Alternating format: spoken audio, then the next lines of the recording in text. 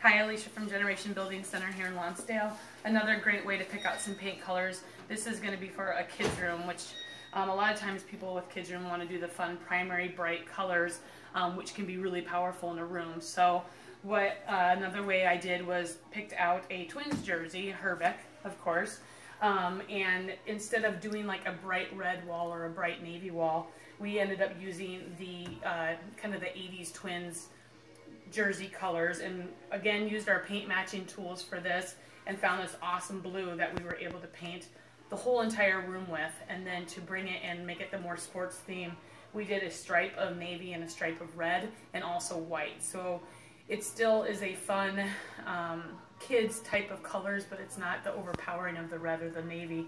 Um, and once again just being able to pull the colors from the jersey with our paint matching tools. So kind of a great way to make a fun kids room and make it grow with them. So